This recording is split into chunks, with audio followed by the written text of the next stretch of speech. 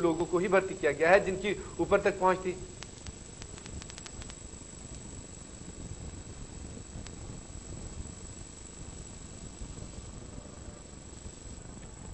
नाजिन इसी हवाले से बात करते हैं जो भर्तियाँ की गई हैं और सिंध के लोगों को इसकी आ, हवा तक नहीं लगने दी गई है। बात करते हैं अवामी तहरीक के प्रेसिडेंट हमारे साथ लाइन पर मौजूद हैं अयाज पलीजो। सलामकुम पलीजो साहब।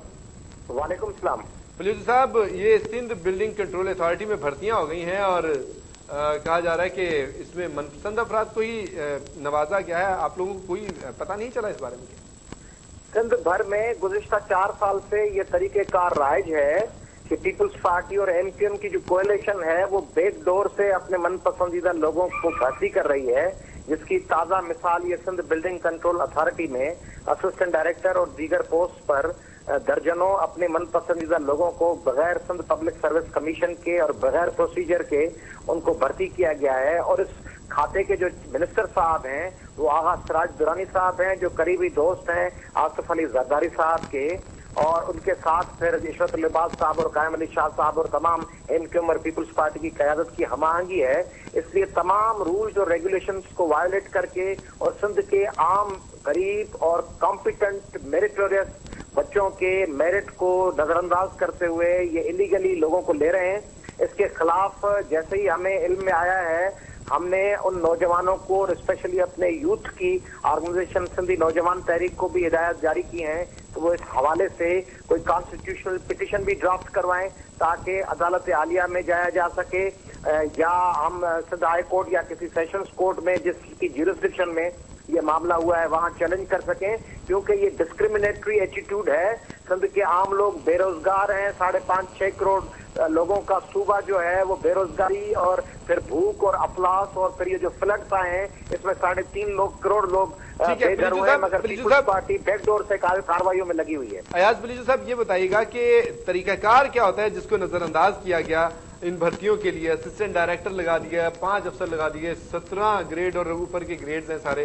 ये इग्नोर करने वाली बात नहीं है। तरीकाकार क्या था, जिसको नहीं अपनाया गया, जिस पर आपको एतराज़ है खासतौर पर देखिए जी being a constitutional lawyer I would like to explain के ये जो भर्ती किसी भी शोबे में होनी चाहिए, उसके लिए पहले तो वो जो रिक्वायरमेंट्स होती हैं वो कंसर्न डिपार्टमेंट ग्रेड 16 या अबव के लिए वो उसकी रिक्वेजिशन भिजवाता है सिंध पब्लिक सर्विस कमीशन को कि इन अहदों पे हमें भर्तियाँ करनी है। हमारे पास स्टाफ की जगहें वैकेंसीज खाली हैं। उसके बाद सिंध पब्लिक सर्विस कमीशन उसको एडवर्टाइज करता है न्यूज़पेपर्स और मीडिया के जराए के हवाले से और फिर इंटरव्यू कॉल्स होते हैं शॉर्ट लिस्टिंग होती है इंटरव्यूज़ अगर रिटर्न टेस्ट हो तो वो होते हैं उसमें जो क्वालिफाई करते हैं उनसे फिर विवाह या ओरल टेस्ट होती है।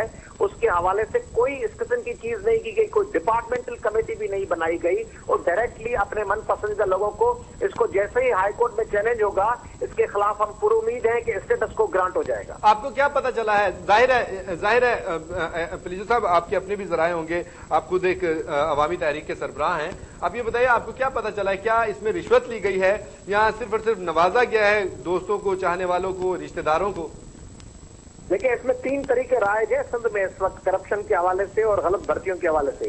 एक तो मिनिस्टर्स को कोटा दी जाती है और मिनिस्टर पैसे लेके अपने मनपसंद लोगों को 20 से 50 लाख रुपए ली जाते हैं 17 ग्रेड की पोस्ट के लिए। तमाम शोबों के जो मिनिस्टर हैं पीपुल्स पार्टी के हो एमक्यूएम के हो। दूसरा तरीकेकार ये होता है कि उनके कोई रिश्तेदार कज़न मामू भतीजे चचा वो सब उनके रिश्तेदारों को उनसे ज़ाहिर पैसे नहीं लिए जाते। तीसरा तरीका यह होता है कि उनकी कॉन्स्टिट्यूएंसीज के वो लोग जो उनको पोलिंग स्टेशन जितवा के देते हैं उनको रिश्वत के तौर पे पोलिंग स्टेशन जितवाने वाले बंदे को एक एक पोस्ट दी जाती है। तब इसमें उन्होंने इसी किस्म का तरीका कार अख्तियार किया होगा। पैसे भी लिए होंगे कुछ पोस्टों पे कुछ पे रिश्तेदारों को नवाजा गया होगा और तीनों तीनों तरीके इस्तेमाल की गई होगी जो इलेक्शन जितवाए। ठीक है तीनों तरीके इस्तेमाल अच्छा अब आप बताएँ आप अदालतों में जा रहे हैं। आपने कहा कि हम अदालतों में जा रहे हैं। अदालतों में जाएँगे इस मामले को चैलेंज करेंगे। तो क्या ये तकर्रियाँ रुक जाएँगी? इसके ऊपर केस चलेगा फिर आगे बात होगी। देखें, वो तो हाई कोर्ट या जो अदालत होगी, वो फाइनल डिसीज़न तो वो देगी, मगर हमारे पास तरीकेकार सिंध में जब भी हम अदालत में गए हैं सिंध के लोग गैर कानूनी भर्तियों या डिस्क्रिमिनेशन के खिलाफ तो अदालतें रिलेटिवली पहले की अदालतों के बनस्बत आजकल लोगों के मसाइल को सुन रही हैं, इसलिए अक्सर हालात में अगर इलीगलिटीज हो या अनकॉन्स्टिट्यूशनल तरीकेकार हो तो उस पर स्टे ग्रांट हो जाता है और उस डिपार्टमेंट को कहा जाता है कि भर्तियाँ रोक दी जाए और थ्रू पब्लिक सर्विस कमीशन की जाए। तो हम पूरी उम्मीद है कि अगर हमारे नौजवान संधि नौजवान तहरीक और एसएसटी वाले गए अदालत में तो अदालत पुरुद है कि वो स्टे ग्रांट करके हिदायत जारी करेगी। कि पब्लिक सर्विस कमीशन के ज़रिए हो। अयाज लतीफ लेजू साहब, अगर हम कौमी सतह पर देखते हैं तो बहुत से मामला है। एनआरओ का मामला है और बहुत से मामला है जिसमें अदालतें हुक्म देती हैं हुकूमतों को, लेकिन हुकूमतें आगे से कोई और तरीकाकार इख्तियार कर लेती हैं, कोई और बहाना बना लेती हैं। इन मामला को लटका दिया जाता है। आपके साथ भी कहीं ऐसा ही सूरत हाल ना हो, अदालत तो हुक्म दे दे, लेकिन आगे से आप आप लोगों को मकसद है कि इस तरह के हुकूमती हथकंडों का सामना करना पड़े। ये आप बिल्कुल सही कह रहे हैं, ये आपकी बिल्कुल सही ऑब्जर्वेशन है कि बहुत से मामला में अदालतें जब तक स्ट्रिक्ट एक एक्शन नहीं लेती, सिर्फ़ स्टे ग्रांट कर देती हैं तो हुकूमत अपनी कार्रवाई जारी रखती है। इसमें हमारी सिविल सोसाइटी को और कॉन्स्टिट्यूंसीज के लोगों को भी तो आवाज़ बुलंद करनी चाहिए।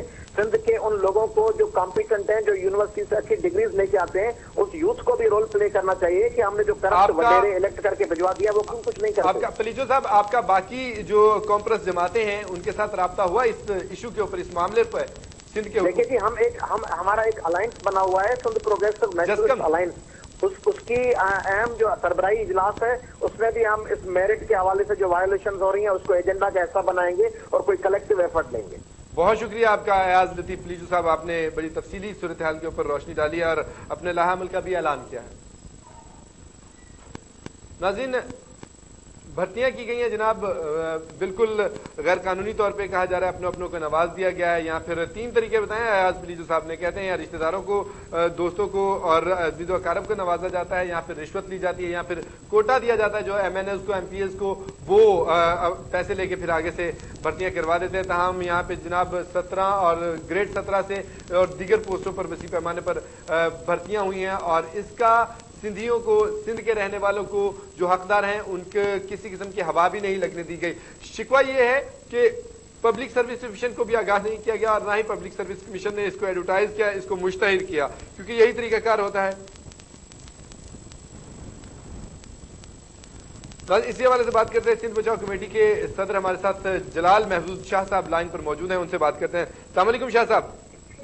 वालेकुम शाह साहब सिंध बिल्डिंग कंट्रोल अथॉरिटी में भर्तियाँ हुई हैं जनाब और ना कोई मुश्तहिर किया गया ना कुछ बताया गया किसी को और भर्तियाँ भी हो गई हैं। क्या कहते हैं आप इस पर?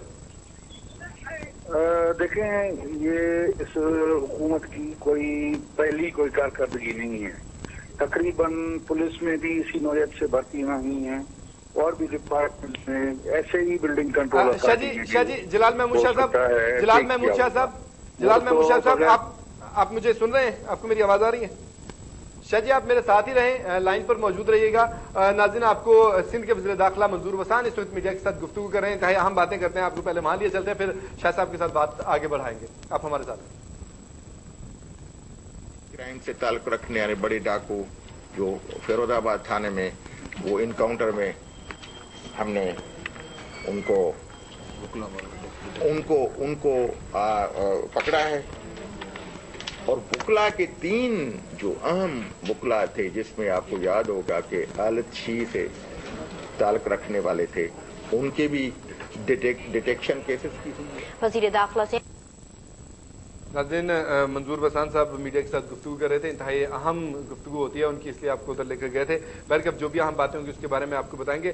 हम बात कर रहे थे मंजूर बसान की तरफ़ जाने से पहले सिंध बिल्डिंग कंट्रोल अथॉरिटी में ग्रेड सत्रह और दीगर पोस्टों पर जो वसी पैमाने पर मनपसंद अफराद को नवाजा गया है, उनको भर्तियाँ की गई हैं। इस इशू के ऊपर हम बात कर रहे हैं और आपको बताते चले कि जो कॉम्प्रेस जमाते हैं, वो काफ़ी इसके ऊपर नाला हैं और नाराज़ भी नज़र आती हैं। खफगी का इजहार भी करेंगे, सिर्फ़ और सिर्फ़ पीपल्स पार्टी के और एमकेएम के वर्कर्स को, उनके कारकुनों को, उनके एमएनएस को, उनके एमपीएस को नवाजा जा रहा है और उन्हीं को बताया जाता है कि ये ये भर्तियाँ और कानों कान किसी को खबर भी नहीं होती है। इवन ये कि जो तरीकाकार है कि पब्लिक सर्विस कमीशन इसके बारे में बाकायदा मुश्तहिर करे और कम से कम डिमांड भी पूरी कर दें। ऐसी कोई कागज़ी कार्रवाई भी नहीं की गई है। सीधा सीधा उन्होंने उधर बाला बाला ही सारी भर्तियाँ कर दी गई हैं। लेकिन इस सूरत हाल को अवामी तहरीक के सरबरा कहते हैं कि जी हम इसको चैलेंज करेंगे, अदालत में अदालत तक जाएँगे और इस मामले के ऊपर हमने अपनी यूथ को भी आगाह कर दिया। उसको भी कहा है कि इस मामले के ऊपर आवाज़ उठाएँ और तैयार रहे सारी सूरत हाल से निमटने के लिए। वो कहते हैं कि जी, हम कतई तौर पर अपनी हक तलफी नहीं होने देंगे।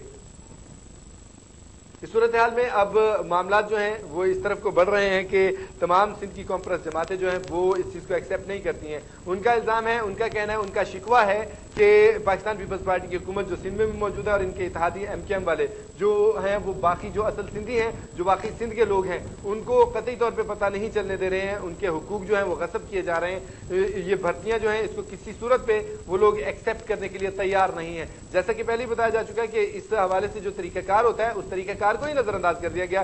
टोटल सिरे से ही तरीकाकार को अपनाया नहीं गया। अभी अगर कोई हुकूमती हमायदीन में से कोई सामने आता है, कोई रबते में आता है तो उनसे पूछेंगे, जी कि ऐसा क्यों किया गया? हो सकता है कि उनके पास इसका कोई जवाब हो, इसकी कोई मंतक वो पेश कर ही दें। इसका कोई ना कोई ऐसा मामला सामने बता दें, कोई ऐसा जवाब बता दें कि, जी, असल में ये तरीकाकार था, ये वजह थी, इस वजह से हमने ऐसा कर लिया है, जो कि भर्तियाँ की और इसको मुश्तहिद नहीं किया गया। लेकिन फ़िलहाल जो हम सूरत हाल को देखते हैं, उसमें तो ऐसी कोई बात समझ में नहीं आती, ना ही कोई ऐसी बात नज़र आती है कि इस तरह से तरीकाकार को पसे पुश डाल दिया जाए। तरीकाकार होता है, जो लाहा अमल होता है, उसको फॉलो करना पड़ता है, उसको तो देखना ही पड़ता है। अगर ऐसा नहीं होता है तो इसका मतलब वाजे तौर पर हो जाता है कि कहीं दाल में कुछ काला है और जो काला होता है, जब वो ज़्यादा हो जाता है तो फिर यकीन सबकी सबकी नज़रों में आ जाता है। और इसको यकीन काली दाल को कोई भी खाने के लिए तैयार नहीं होता है। यहाँ पे सिंध के कॉम्प्रेस जो है, वो कतई तौर पे इस बात को एक्सेप्ट करने के लिए तैयार नहीं है। वो इस बात को हजम करने के लिए तैयार नहीं है कि इस तरह से भर्तियाँ कर दी जाए। इतने अहम उहदों के ऊपर भर्तियाँ कर दी जाए कि सिंध के जो मुस्तकिन है, उनको एकदम से नजरअंदाज कर दिया जाए।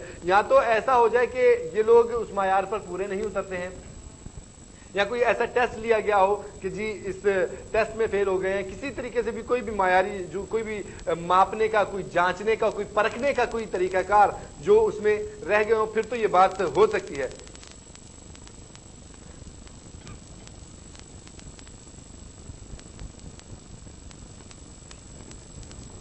कॉम्प्रेस रहनुमा हमारे साथ लाइन पर मौजूद हैं जी, शाह मोहम्मद शाह साहब, उनसे भी बात करते हैं। असला शाह साहब। वालेकुम सलाम। शाह साहब, भर्तियाँ हुई हैं और कहा यह जा रहा है कि इसमें कोई मुश्तहिद नहीं किया गया पब्लिक सर्विस कमीशन की जानब से। आप क्या कहते हैं इन भर्तियों पर? देखिए, इन्होंने पूरा ये चार साल जो है मेरिट की लताड़ की है। पूरे चार साल पीपल्स पार्टी को जो भी जीमाया चाहे वो एमक्यूएम उसके साथ हो, और वैसे भी पीपल्स पार्टी एमक्यूएम के तले बैठ गई है, नीचे बैठ गई है। ये टोटल मेरिट के खिलाफ है। ये सिंध के खिलाफ है पार्टी के नीचे लग गई आपके ये कहने का मतलब गरीबों के बच्चे धक्के खा रहे हैं ये मेरिट पर होना चाहिए। अच्छा नहीं तो आप क्या समझते हैं जो भर्तियाँ हुई हैं सिंध बिल्डिंग कंट्रोल अथॉरिटी में ग्रेड सत्रह की और दीगर पोस्टों की आप क्या समझते हैं कतई तौर पर मेरिट पर नहीं है? नहीं आ रहा मेरा आवाज़ आ रहा है आपको?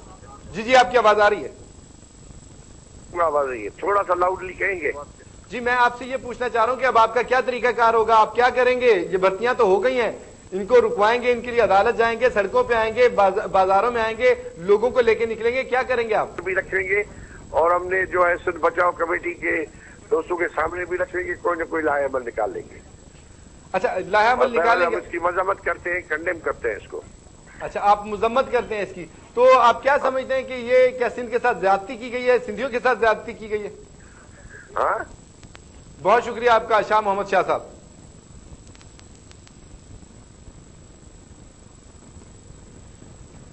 नाजिन, शाह मोहम्मद शाह भी कहते हैं कि हम इसकी मजम्मत करते हैं, इसको कतई तौर पे एक्सेप्ट नहीं करेंगे करेंगे। सिंध बचाव कमेटी के साथ मिलकर वो कहते हैं कि हम इसके बारे में बाकायदा लाहा अमल तय किया जाएगा, फिर उसके बाद फैसला किया जाएगा कि हम अदालतों का दरवाज़ा खटखटाते हैं, हम सड़कों पर आते हैं, हम लोगों को लेकर बाहर निकलते हैं, एहतजाज करते हैं, अवाम अवाम के बीच में जाते हैं, क्या करते हैं?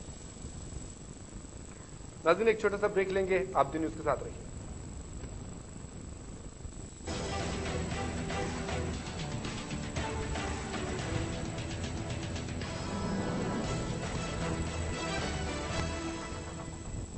Jadid.